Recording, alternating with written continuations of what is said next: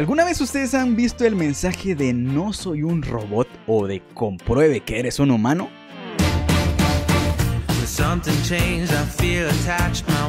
A ver, les tengo que decir la verdad, este video ya lo había grabado, pero olvidé darle grabar al audio, así que estaba muy chafa con el audio de la cámara, decidí volverlo a grabar. ¿Alguna vez ustedes han tenido que darle chequecito a un mensaje que les sale de algo como comprueba que no eres un robot o comprueba que eres un humano? Pues este video surgió por algo que me pasó hace algunos días. Yo estaba ayudándole a mi papá a hacer algunos trámites en una de las entidades de gobierno y de repente salió un mensaje que decía compruebe que eres un humano. A lo que a mi papá y a muchísimas personas se les hace de las cosas más molestas que tengan que comprobar que son unos seres humanos. Sobre todo porque la mayoría desconoce cuál es la función de esta herramienta. Desde aquí, un abrazo a mi papá que sé que de vez en cuando mira los videos, pero me dio risa porque cuando le dio clic a comprobar de que no era un robot, le salieron varias imágenes y decía marque todas aquellas que no son yo conoce qué, porque ni él sabía que era y ni yo tampoco. Cosa que me hizo gracia y le dije, bueno, a lo mejor no sos humano y sos un robot. No sé si a ustedes les ha pasado que fallan alguna de estas pruebas y dicen, ¿cómo va a ser posible que yo voy a fallar una prueba de comprobación si soy un humano? Si se supone que soy un humano. No se preocupen,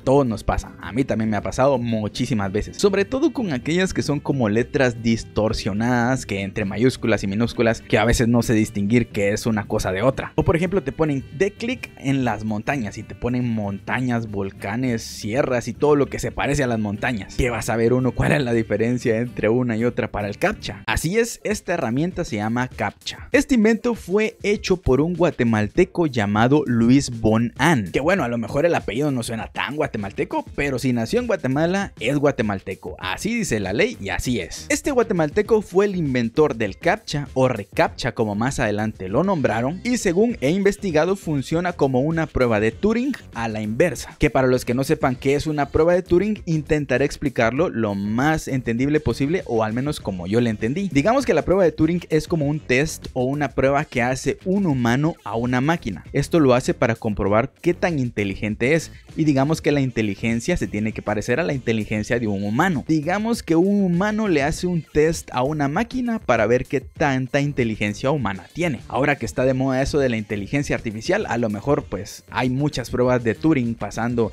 en muchos muchos lugares, donde muchos humanos le están haciendo pruebas a las máquinas para ver qué tan inteligentes son. Pues digamos que el CAPTCHA hace lo contrario, en lugar de un humano hacer una prueba a una máquina, es una máquina que le hace una prueba a un humano para comprobar si es una máquina. La verdad es que su funcionamiento es sencillo pero complejo. Hay diferentes tipos de CAPTCHA, pero por ejemplo hay unos donde te muestran una imagen o una secuencia de imágenes, las cuales tenés que relacionar según el texto que te indiquen. Esto normalmente para un humano suele ser relativamente sencillo, pero para una máquina es indescifrable. Porque por ejemplo, digamos que te ponen seis imágenes y te dicen da clic sobre las que mires que tienen un semáforo.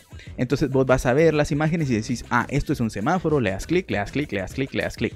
Aceptar y siguiente porque tenés relacionado de cómo es un semáforo, qué forma tiene, qué colores tiene, dónde suelen estar. Entonces más o menos sabes dónde tenés que dar clic. Pero para una máquina no es tan sencillo. De hecho es casi imposible descifrarlo. Al menos de momento. Ahora bien, te podrás estar preguntando ¿y para qué jocote sirve esto? En pocas palabras, por seguridad. Digamos que existen ciertas máquinas o robots que se encargan de hacer ciertos ataques cibernéticos que provocan inestabilidad en algunas páginas web. Y digamos que estos ataques les puede pasar a cualquier página, pero hay unas que tienen un poquito más de precaución con este tema, sobre todo por ejemplo las entidades bancarias o las páginas gubernamentales donde suelen tener información bastante privada o privilegiada que a lo mejor no es tan bueno que caiga en las manos equivocadas. O a lo mejor también es utilizada para cometer algún tipo de fraude, no lo sé, a lo mejor alguna página está teniendo muchas visitas últimamente porque está generando visitas a través de bots, que en lugar de tener las visualizaciones que normalmente tiene, digamos que son unas mil, ahora tiene unas 4 millones. Y esto puede ser utilizado como algún tipo de fraude. Por ejemplo, hay páginas que pagan por visita y porque le den clic a cierta publicidad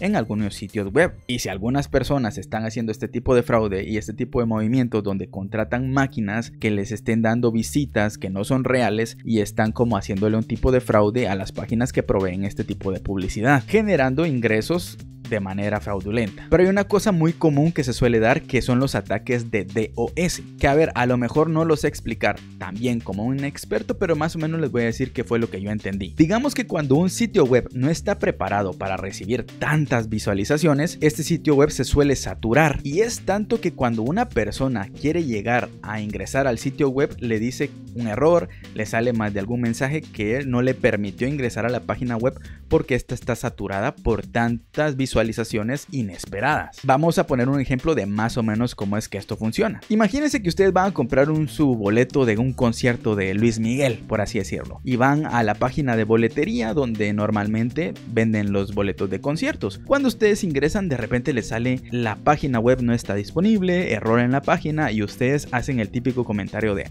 se cayó la página. Pues ese se cayó la página suele ser porque hubo una saturación dentro de la página. No estaba preparado para tantas visitas en tan poco tiempo. Porque digamos que todo mundo quería ir a comprar los boletos de Luis Miguel y la página no se esperaba que hubieran tantas visitas simultáneamente. Eso causa una saturación que hace que el sitio web se caiga. Eso suele ser un caso real.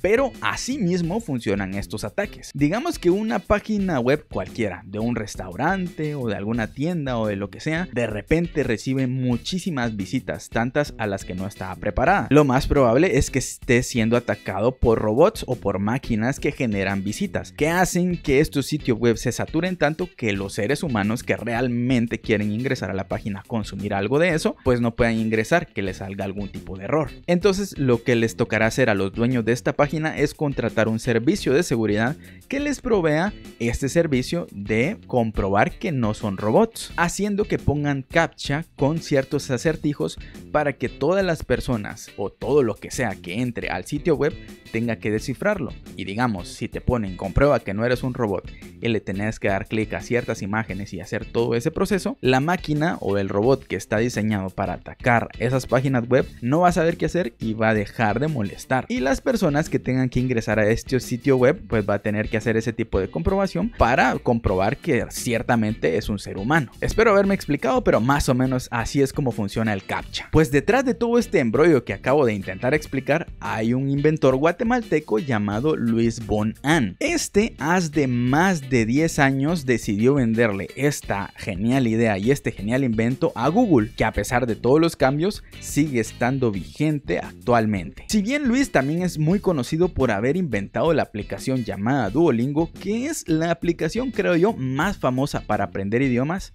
a ver, la más famosa, no la única, pero el invento que realmente lo puso en el mapa de la informática fue el invento del CAPTCHA o reCAPTCHA. Evidentemente, de 10 años para acá, pues han cambiado muchísimo las cosas y a lo mejor el CAPTCHA no es tan como en ese entonces cuando él lo inventó, porque al principio a lo mejor solo eran letras distorsionadas, pero quizá más adelante hubieron ciertas personas que inventaron máquinas que lograran descifrar esos CAPTCHA, entonces tuvieron que modificar el algoritmo para que las máquinas no no lo lograran descifrar. Pero a pesar de que ha ido cambiando, la esencia es la misma y su funcionamiento también sigue funcionando para lo mismo. Pues Luis nació en la ciudad de Guatemala, empezó estudiando en uno de los mejores colegios que sus papás le pudieron pagar, que si no estoy mal era el colegio americano, pero más adelante se fue a estudiar en la universidad a sacar su colegiado en computación en Pensilvania, en la Universidad Carnegie Mellon, en donde según algunas fuentes de internet dice que tuvo como mentor a uno de los mejores informáticos que ha existido a día de hoy. Esta persona se llama Manuel Blum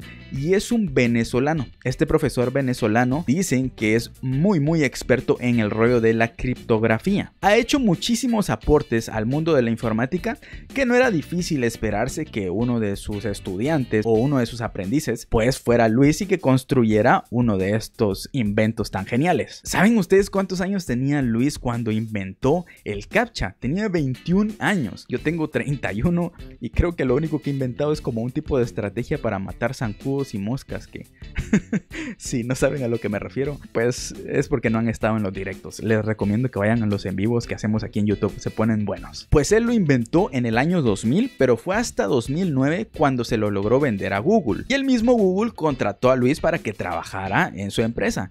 Lo que ha dicho Luis en varias entrevistas es que a él no le gustan los jefes que lo están mandando a cada rato, por eso es que a él no le gusta tener jefes. Pero según palabras de él, en Google le dejan hacer básicamente lo que él quiera. O bueno, eso dice él. Aunque ya les digo yo que si lo que él quiera significa hacer inventos que valen millones de dólares, obviamente a Google no le va a molestar que él haga lo que él quiere. Entonces, ¿sabían ustedes que este invento fue hecho por un guatemalteco? ¿O conocían ustedes este invento? ¿Les ha salido ese mensajito de no soy un robot molesto que ustedes dicen, ay, ya me toca otra vez comprobar que soy humano? Pues si no lo sabían, Ahora ya lo saben y lo pueden comentar en su próxima conversación. Nos vemos en una próxima ocasión. Si quieren apoyarme y quieren ver más videos como este, vayan a echarse una vuelta en el canal. También están mis redes sociales. Por si me quieren apoyar por allá, em, subo videos en Facebook, en TikTok, en Instagram, en muchos lugares. Así que si me quieren apoyar, son bienvenidos. Nos vemos en la próxima con otro video que seguramente va a estar igual de interesante que este.